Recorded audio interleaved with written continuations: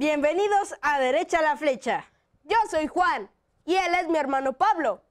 Este programa es para ustedes. En Derecha a la Flecha hablamos de nuestros derechos. Derechos contenidos en la Convención sobre los Derechos del Niño.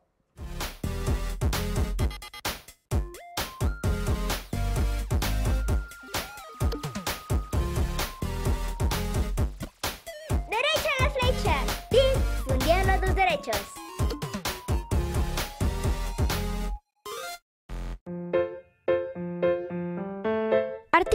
Artículo 31. Todas las niñas y los niños tenemos derecho al descanso, a la diversión, al juego y a la participación en actividades culturales y artísticas. Vamos a ver una muestra de cómo hacer valer tus derechos. Lo siguiente es un encuentro de talentos en actividades artísticas y culturales. Hola amigos, ¿qué tal? Soy Damián y hoy estamos en el Encuentro Estatal de Niños y Jóvenes Talento 2017. ¡Comenzamos!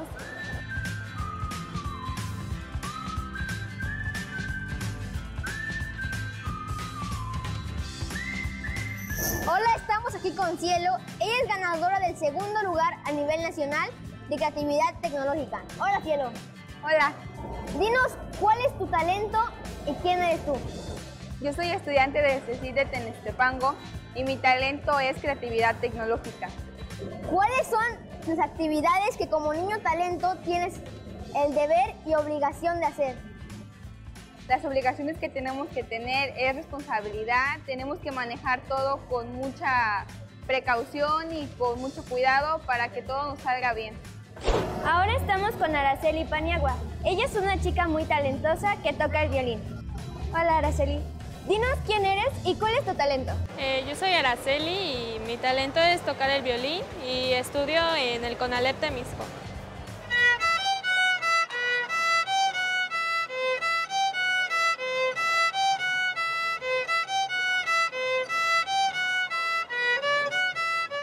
Yo soy Leslie Lisbeth Rodríguez Ortiz, soy ganadora eh, estatal, el primer lugar tengo en oratoria y fui al concurso nacional Chicotencatl, en el cual gané oratoria y debate.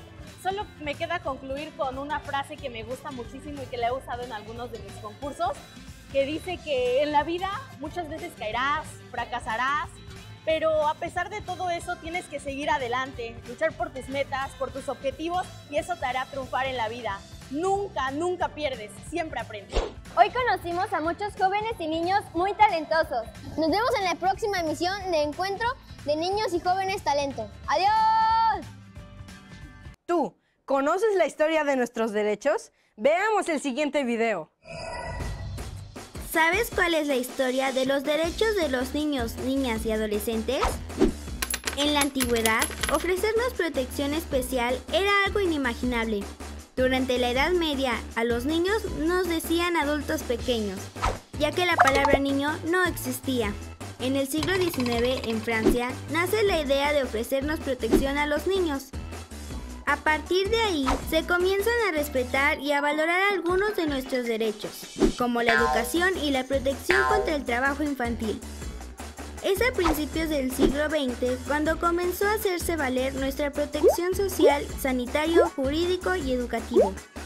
Estas leyes se extendieron primero en Europa y en 1924 se firmó el primer tratado internacional sobre los derechos de los niños, también llamada la Declaración de Ginebra, en donde se les daba responsabilidad a los adultos para cuidar de nosotros. Cuando llegó la Segunda Guerra Mundial, dejó entre sus víctimas a millones de niños. Por eso, en 1946 se creó el Fondo de las Naciones Unidas para la Infancia, mejor conocido como UNICEF. En 1979, la ONU, que es la Organización de las Naciones Unidas, decretó el Año Internacional del Niño y creó un grupo de trabajo dentro de la Comisión de los Derechos Humanos, el cual se dio la tarea de redactar la Carta Internacional. Y finalmente, en 1989 se aprueba la Convención sobre los Derechos del Niño, la cual contiene 54 artículos y protege nuestros derechos económicos, sociales y culturales. Además, es el tratado que más firmas ha tenido en todo el mundo. Conocer tus derechos es tu derecho. ¡Wow! No sabía que en la antigüedad nos consideraban como adultos pequeños. Así es, Juan.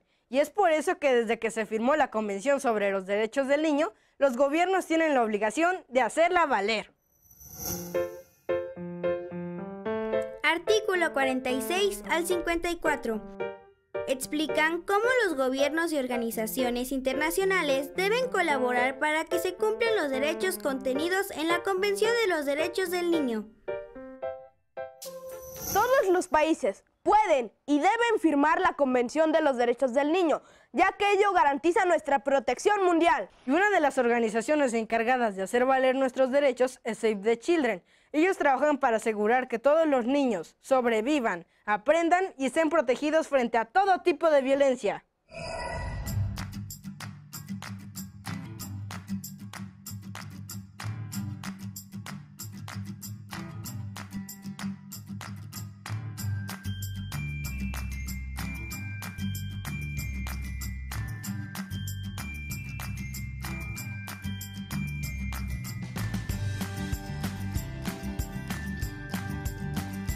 Save the Children tiene una campaña para que les respeten sus derechos a los niños y niñas. En Colombia, niños, niñas y adolescentes han vivido la guerra durante más de cinco décadas. Soy boliviana, soy mamá adolescente y quiero atención médica para mí y para mí. A mí la campaña Hasta el último niño y niña significa que todos los niños podemos entrar en esa campaña, no importa la edad, ni el tamaño ni el color. Un medio de comunicación por el cual yo puedo darme a base de mi experiencia lo que yo pasé. Yo creo que lo que Save the Children está haciendo es de suma importancia, porque nosotros los niños tenemos que alcanzar nuestra meta y nuestro destino. Con mi aporte y mi apoyo dentro de mi organización, sé que puedo ayudar a cambiar el futuro de mi país. En Guatemala estamos en campaña para no al castigo físico y humillante. En El Salvador hacemos campaña para vivir mejor y tener más educación. La campaña en Perú hasta el último niño y niña está a favor a que se invierta en la prevención del embarazo adolescente. Tipia tiga son a pas mettre aucun petit monde sur côté dans le pays d'Haïti. Queremos decirle que felicitamos a Children. ¡Felicidades! ¡Hasta el último niño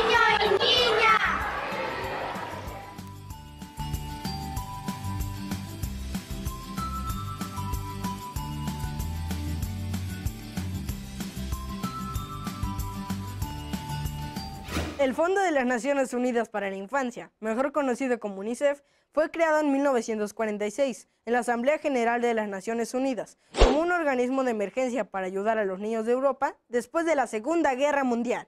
Pero en 1953 se estableció de manera permanente dentro de la Organización de las Naciones Unidas para ayudar a los niños y proteger sus derechos en todo el mundo. Durante más de 50 años, UNICEF ha proporcionado cuidados, alimentos, ropa y atención médica a niños que lo necesitan. Por esto, obtuvo el Premio Nobel de la Paz en 1965 y es la organización mundial más importante que reconoce y garantiza nuestros derechos.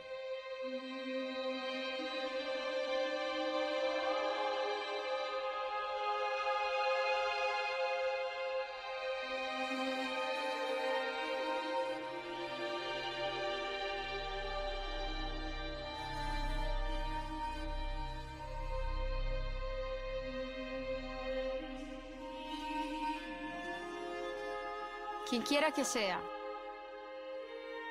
donde quiera que viva, cada niño merece disfrutar de su infancia.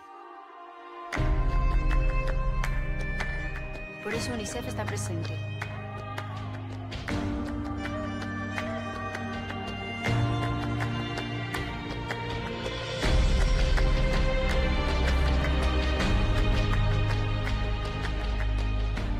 Cada día en más de 190 países, en algunos de los lugares más recónditos del mundo, aquellos que están más lejos de la ayuda. Por eso estamos y estaremos hasta el final, sin rendirnos. Quédate con nosotros. Stand with us. Stand with us.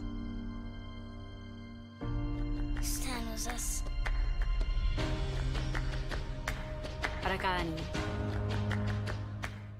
El Sistema Nacional para el Desarrollo Integral de la Familia, mejor conocido como DIF, es una institución pública encargada de desarrollar el bienestar de la familia, promoviendo la planificación familiar, la asistencia a los ancianos, la lucha contra la violencia hacia las mujeres, así como la ayuda a diferentes personas vulnerables de la sociedad, pero una de sus principales prioridades es el cuidado de los niños. Por ello, el DIF Morelos tiene un grupo encargado de capacitar a los niños difusores de nuestros derechos y la licenciada Antonia es la encargada de encabezar a los capacitadores y dar pláticas a diversas organizaciones civiles y gubernamentales para que conozcan y reconozcan nuestros derechos.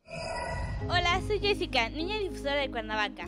Hoy vamos a conocer a la licenciada Antonia Castillo, quien nos va a platicar qué hace el Morelos para que se conozcan y reconozcan nuestros derechos.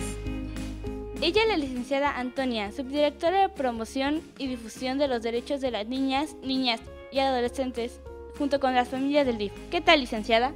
¿Qué tal, Jessica? ¿Qué es lo que hace el DIF Morelos para hacer valer nuestros derechos?